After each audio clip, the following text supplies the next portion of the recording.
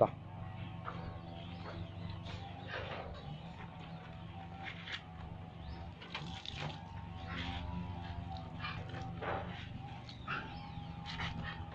ដោះខាត់ឲ្យឲ្យឲ្យយូរបន្តិច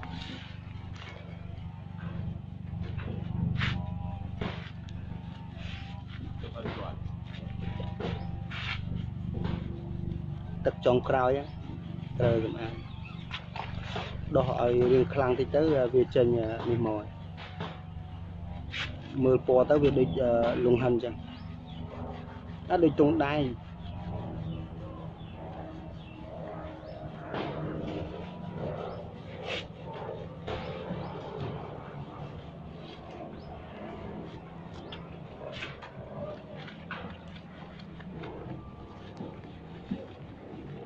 ថ្ងៃហ្នឹងមេឃអត់សូវល្អសេវាវាអត់សូវមិនញគាត់ផងដុសមុខទាំងអស់ខាត់ទៅវាវាចាញ់ពណ៌បែបម៉េចសេវាព្រោះឯពណ៌ហ្នឹងយើងគេហៅថាពណ៌ធម្មជាតិយើងអត់បានប្រើថ្នាំលាបទេសម្រាប់ចំតួនេះខ្លាចតែអ្នកវិជាសាស្ត្រមកឆិច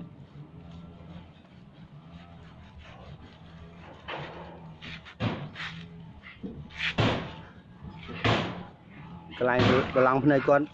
មើលប្រយុទ្ធនេះវ៉ែនតាគាត់រឿងគេគាត់រឿងយើង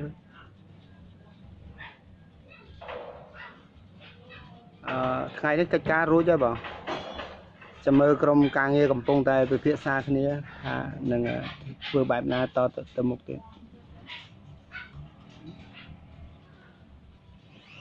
ហ្នឹងហើយពណ៌សម្រាប់ពណ៌នេះគឺពណ៌អឺ សាច់ស្ពាន់ហ្នឹងអស់មួយជីវិតរបស់ស្ពាន់ហ្នឹងតែម្ដងមិនមិនប្រែប្រួលមិនមិនចេញពណ៌អីផ្សេងទៀតទេ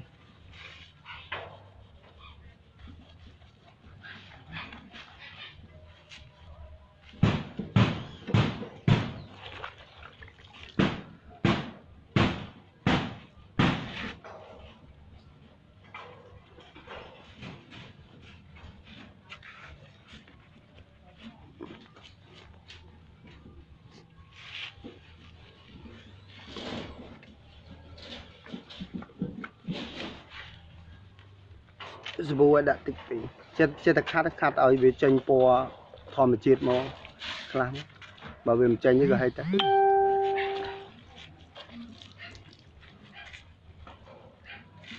ប្រយ័ត្នវ៉ែនតាតែញាក់បន្តិចខូចវ៉ែនតាមិនដឹងទៅរកកំងកាត់កញ្ចក់ឯណាទៀតហ្នឹងឲ្យត្រូវភ្នែក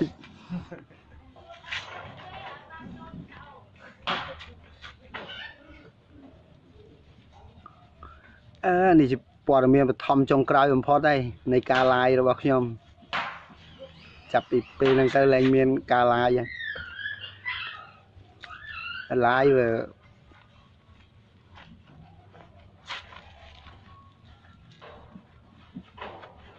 អឺ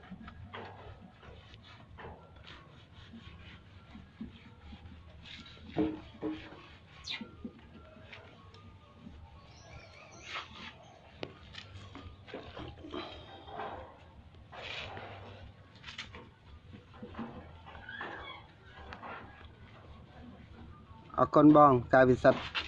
កៅប្រសិទ្ធជាមួយថ្ងៃណាមកញ៉ាំតែជាមួយខ្ញុំម្ដងអត់មែនគេហៅញ៉ាំតែគេហៅផឹកតែបានឆ្ងាញ់អាញ៉ាំតែហ្នឹងតែខ្ចីខ្ចី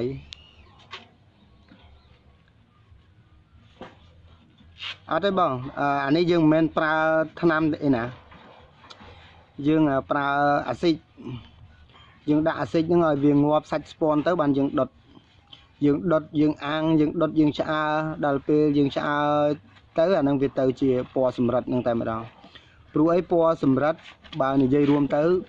វាសាច់ស្ពាន់ដូចតែគ្នាគាត់ថាវាមានលោហៈច្រើនអញ្ចឹងណាតែដល់ទៅពេលវាកប់នៅក្នុងដីច្រើនឆ្នាំវាមានធាតុទឹកធាតុភ្លើងធាតុខ្យល់វាត្រូវចុះឡើងចុះឡើងវាចេញពណ៌អញ្ចឹងដូចគ្នាណាការពិតទៅវាមានអឺ វាមិនមែនចេញមកសម្រិតខ្មៅព្រិចអញ្ចឹងទេអឺអានេះដល់ទៅពេលយើងផ្សំធាតុលឿនបានន័យថាយើងប្រើអាស៊ីចគឺវាប្រភេទ G អ៊ុយរ៉េអញ្ចឹងវាមានដីនិងទឹកភ្លៀងវាប្រភេទ G អ៊ុយរ៉េអឺភ្លើងព្រះអាទិត្យអញ្ចឹងយើងយកហ្គាសមកដុតទៅឬក៏ខ្ជូងយកមកកម្ដៅទៅកាប់ពិតទៅគាត់ថាសម្រិតវាប្រើពេលរយៈពេលរាប់ពាន់ឆ្នាំវាទៅជាសម្រិត ដល់ទៅពេលយើងប្រើក្នុងរយៈពេលតែមួយថ្ងៃយើងខ្លាយជាសម្រិតអឺយើងប្រើជាសម្រិតដល់ពេលយើងទៅវាអានេះគេហៅថាពណ៌លឿនកាប់ទៅដូចតែគ្នាបងសាកយកដៃមកស្ទាបមើលទៅជាក់ស្រាប់ដូចគ្នាណាទៅជាក់ហ្នឹងដោយសារអីដែលថាប្រភេទវាមានជីអ៊ុយរ៉េនៅក្នុងហ្នឹងអឺសម្រាប់ក៏វាមានជីអ៊ុយរ៉េដែរជីអ៊ុយរ៉េហ្នឹងគឺ ដីស្លឹកឈើដែលវាជាប់នឹងដីហើយនឹងទឹកភ្លៀងហ្នឹងវាបង្កើតជាពណ៌នឹងជាចំណុចសំខាន់របស់ពណ៌បុរាណតែខ្ញុំវាមិនចេះអីទេគាត់ជាបទពិសោធន៍ជាការសិក្សាហើយកត់ត្រាទុកទៅ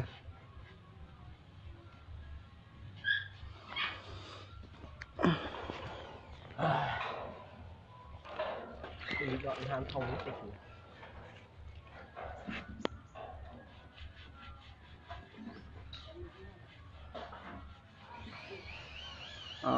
ពណ៌ខ្មៅនេះយើងចាប់ផ្ដើមធ្វើហើយបងយើងធ្វើពណ៌សម្រិតមិនមែនជាការលាបថ្នាំទេគឺយើងប្រើរបៀបដូចខ្ញុំបានអត្ថាធិប្បាយមិញអញ្ចឹង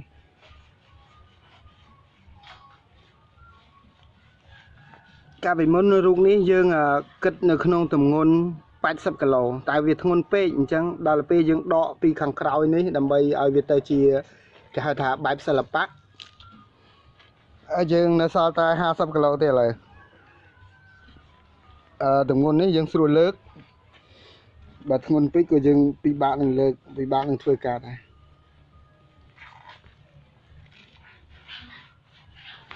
អឺការពិតទៅបងបងសរសើរបងអូនអញ្ចឹងក៏បានដែររឿងសមត្ថភាពហ្នឹងវាវាដងអញ្ចឹងក៏ខ្ញុំទទួលយកគាត់ថាកិច្ចការហ្នឹងពេលដែលយើងធ្វើទៅយើងឆាប់យល់ ដល់ពេលឆាប់យល់ទៅ យើងធ្វើអ្វីក៏កើតទៅតាមនឹងដែរហើយខ្ញុំចង់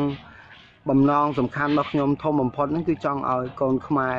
ចំនួនក្រោយគាត់គាត់សិក្សាពីបញ្ហាទាំងអស់ហ្នឹងគាត់ធ្វើបែបអញ្ចឹងគាត់អាចចិញ្ចឹមជីវិតគាត់បាន តែធនធានមនុស្សបែបហ្នឹងរកអត់បានសោះខ្ញុំព្យាយាមរកមនុស្សដែលល្អហើយព្យាយាមធ្វើកិច្ចការនេះ ខ្ញុំឲ្យទាំងប្រាក់ខែខ្ញុំឲ្យទាំងបាយញ៉ាំអឺនៅតែរកមិនបានព្រោះអីសម័យយើងឥឡូវវាចូលចិត្តសុបាយច្រើនដល់អញ្ចឹងវាអត់មានការតាក់ទាញ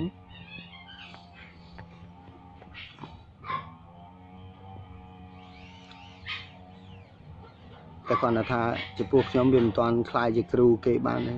តែគាត់ថាការសិក្សាជាមួយគ្នាបញ្យលហេតុផលដែលអាចធ្វើទៅបាន យើងប៉ុណ្ណេះក៏ចាត់ទុកថា យើងអាចចិញ្ចឹមខ្លួនរស់ទៅថ្ងៃមុខ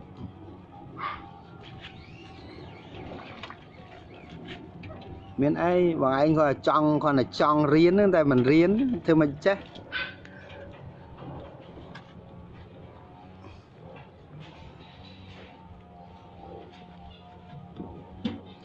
ការរៀននឹងធម្មតាទេបងតែការយល់ដូចថាយើងនិយាយគ្នាទៅអាចយល់ហើយពីចំណុចសំខាន់សំខាន់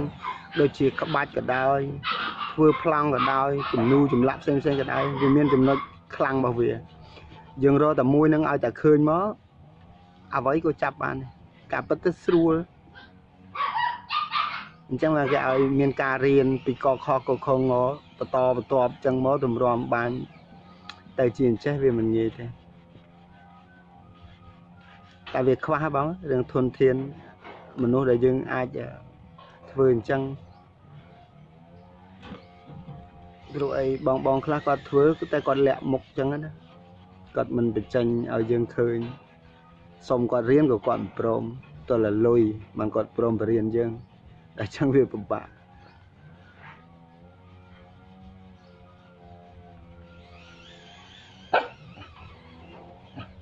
មុនដំបូងគេបើបងឯងចង់ចេះហ่ะមុនដំបូងគេឲ្យរៀនអឺធ្វើពងទាសិនពងមុនពងទានេះតែដូចហើយដូចហើយអឺពីស្ពាន់បង តែយើងកែច្នៃឲ្យទៅជាសម្រិតតែកុំកុំប្រាប់គេថាសម្រិតណា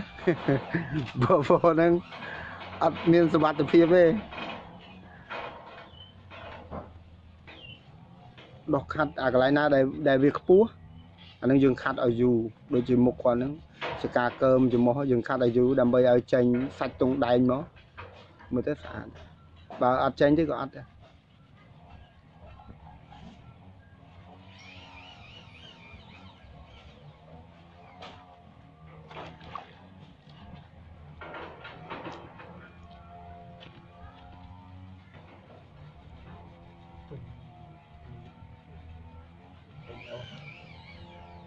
ហើយហើយមើលមុខឯងមុខគាត់ណាហើយមុខមុខគាត់ពីរដងឯង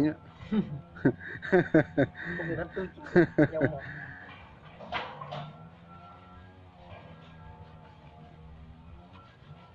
គង់តែតយពីមកឲ្យនៅក្នុងសក់គាត់ហ្នឹងអស់ហើយតែដីអស់ពីក្រោយមើលខាត់ទៅតាមដំណើរចឹងវាវាចេញសាច់ទង់ដែងចឹងស្អាតមិនបាច់យកខ្លាំងពេកទេ មកធម្មតាធម្មតាបាទឲ្យមើលទៅរបៀបចេញទង់ដែងល្មមល្មមមក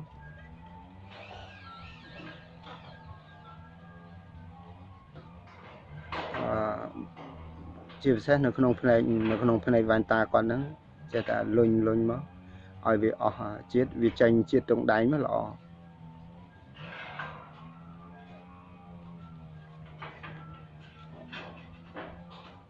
បាទយកពណ៌ហ្នឹងហើយបងយកពណ៌សម្រិត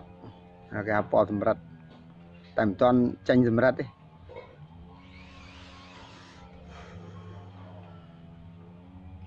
ប្រហែលជាអាចទៅជា1000ឆ្នាំឯទៀតអាចទៅជារបស់ដែលមានតម្លៃខ្ពស់ឥឡូវនេះក៏ជា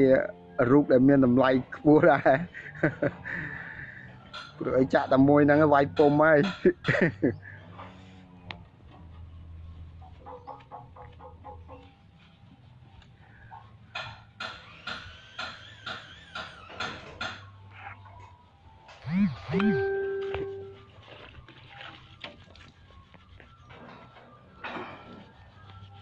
មើលសាកលាងលាងទឹកស្អាតមើលម្ដងមើលចាំមើលវាចេញពណ៌ចេញពណ៌បានខ្លះ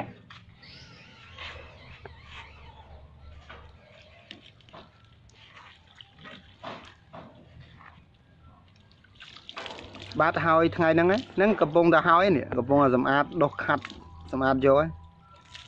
ពណ៌ហ្នឹងពណ៌បញ្ចប់នៅថ្ងៃហ្នឹងហើយឡាយក៏ឡាយបញ្ចប់នៅថ្ងៃហ្នឹងដែរកិច្ចការខ្ញុំត្រូវអឺចប់សពគ្រប់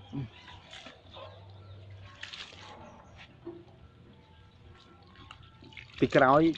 ចេញសាច់នេះខ្លះចេញរបៀបចេញឲ្យតែបានចេញស្មោលស្មោលនោះស្អាត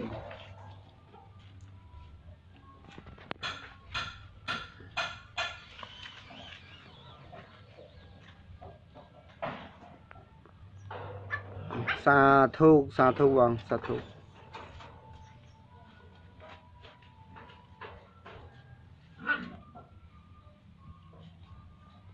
សំណាងល្អរបស់ខ្ញុំនឹងវាមិនមកសោះ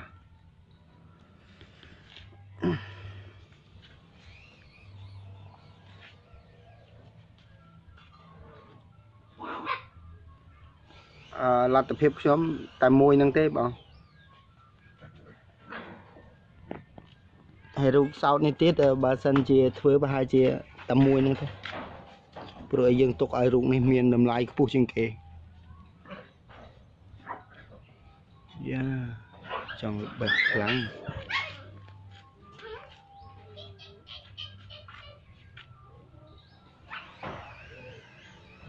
វ៉ែនតាអត់តន់មានអអត់កញ្ចក់ទេតែមើលទៅដូចដូចស្រីវ៉ែនតា 3D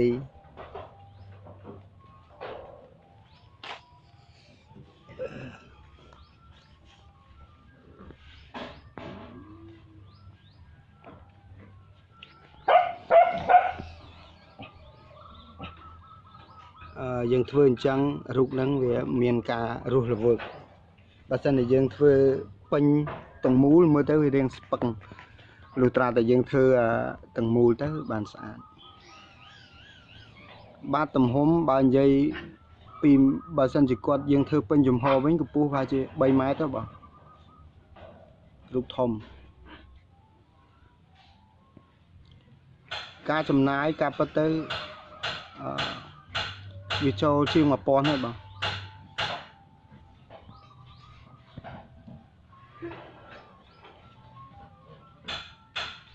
សាធុបងសាធុស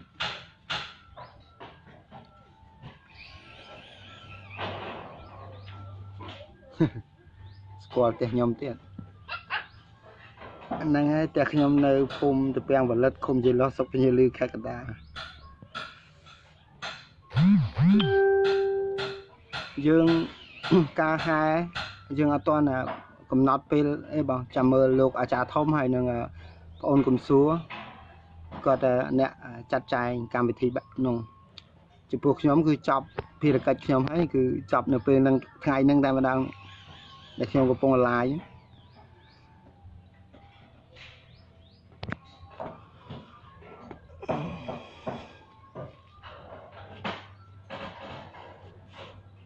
ស្អែកព្រួយអសរបស់គាត់ក៏មានដែរតែអសគាត់ពណ៌ស្ពាន់តែយើងដាក់អាចដកបានគេរយើងមានសំណាងទៅបានបកូនណាលោកឡាយប្រហោះអីចឹងទៅយើងអាចដោះយកមកវិញបាន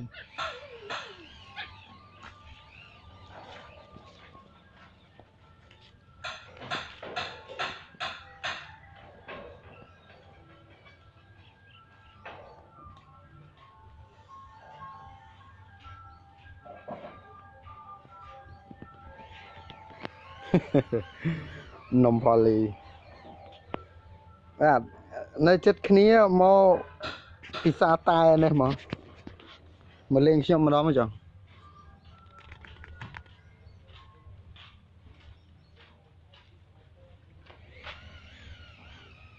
អឺ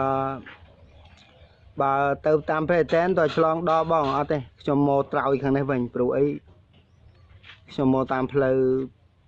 ប្រសិទ្ធក៏បានឧដុង្គក៏បានផ្ទះខ្ញុំ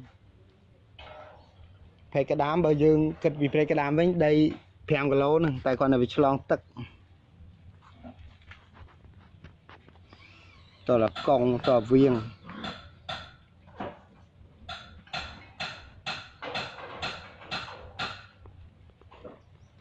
រូបនេះយើងធ្វើដូចថាសាច់ទាំងអាវទាំងសាច់វានៅ គ្រឿមគ្រឿម យើងធ្វើបែបសិល្បៈទេអឺចំពោះការខាត់ឲ្យរលោងវិញវាខ្ញុំអត់បានខាត់ទេគឺខ្ញុំចាក់បែបម៉េចវាចេញមកបែបអញ្ចឹងតែម្ដងតែបើយើងមើលត្រឹមចម្ងាយ1ម៉ែត្រពីរូបយើងមើលទៅហាក់បីដូចជារូបហ្នឹងយើងគប់ពីពីមនុស្សមកដែរមើលទៅមានសាច់ប្រហោងប្រហោងផតទៅតាមទសៃអីចឹងណាដូចសាច់អាវឯងមើលទៅឃើញកាឡា តូចតូចយើងអត់ទាន់មានឧបករណ៍ល្អប្រើប្រាស់វាយើងត្រូវចំណាយដូចជាម៉ាស៊ីនបាញ់ខ្សាច់បាញ់អីហ្នឹងយើងក៏ត្រូវមានដែរតែថ្លៃថ្លៃរបស់ទាំងអស់ហ្នឹងមាននៅប្រទេសថៃបើយើងដំឡើងនៅខ្មែរគេយកសិតតែ6 7000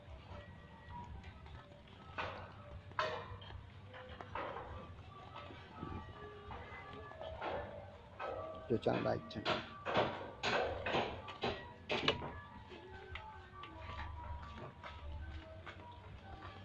អូនៅត្បូងវត្តឯងត្បូងវត្តជាប់តែទៅ5ផលិតដែរចឹងខ្ញុំមកនៅណាឆ្ងាយហើយនៅត្បូងវត្តអត់ស្គាល់ខ្ញុំទេចឹង